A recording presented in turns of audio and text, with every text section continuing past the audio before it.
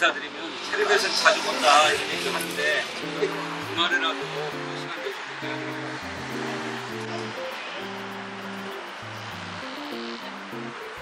골목 진담이라고 이렇게 의정보고서 나눠드리고 또 저한테 평소에 하시고 싶은 말씀도 해주시라는 뜻으로. 아, 제 지역분들 와봐야지 평안하셨어요? 예, 예. 감사합니다 잔디밭 말씀이잖아요. 그래. 오셔서 인사도 해주시고. 좋습니다. 네, 감사합니다 네. 그리고 아니 아니 아니 예, 다시 한번 축하드립니다 예. 그 인적 상황을 다 주고 열심히 해야죠. 아 열심히 해야죠. 열심히. 10만 원씩 후원하면 다 돌려드려 저 세금으로. 그러니까 손해 보는 것은 있으니까 많이 지원해 드릴게요. 힘사는 데까지. 계속 또 오래 하셔서 좋은 그거 하는 거는 그냥 저희가 그냥 네, 알았어. 아까 애들 보라. 후원금 영수증 다 해드려야 되거든. 그래야 저 세금 공제를 받으시잖아요. 그렇게 그건 네, 받을 수 있으니까. 예 그렇게. 해주십시오. 네네. 아유 감사합니다. 좀, 감사합니다. 좀 많이 해주십시오. 열심히 예, 하겠습니다. 예. 예. 그 대장 홍대에서는 저 부천에서 시작해가지고 대장동에서 시작해가지고 예.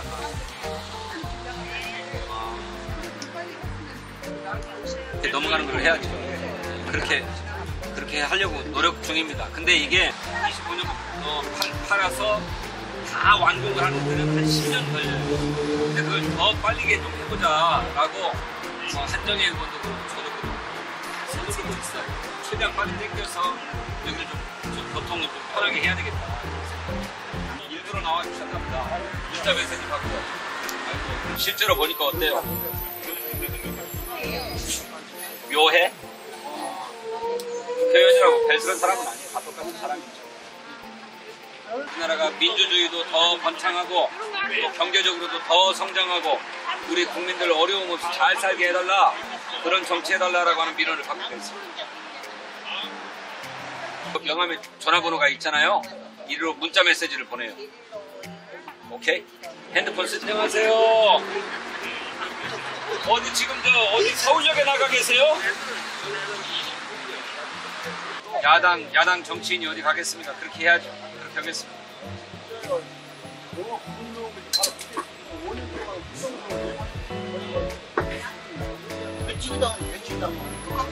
오는 말씀. 이건 걱정 안 하셔도 돼요. 저희들이 세게 잘 하겠다. 더, 더 잘하겠다. 네. 아이, 회장님, 뭐 이걸 사주세요. 아이고, 역겹게. 제가, 골목진단. 예, 예. 아, 카톡이 와볼래? 한번 나와봤어. 감사합니다. 네, 감사합니다. 건강하세요. 안녕하세요. 네. 또 올게요. 이렇게 오셔야 그래. 예, 그럼 열심히 해야죠, 이렇게. 진성준 좀 예쁘게 봐주십시오. 고맙습니다. 의정부 우선네요. 한번 읽어봐 주시죠. 감사합니다. 감사합니다. 예. 예.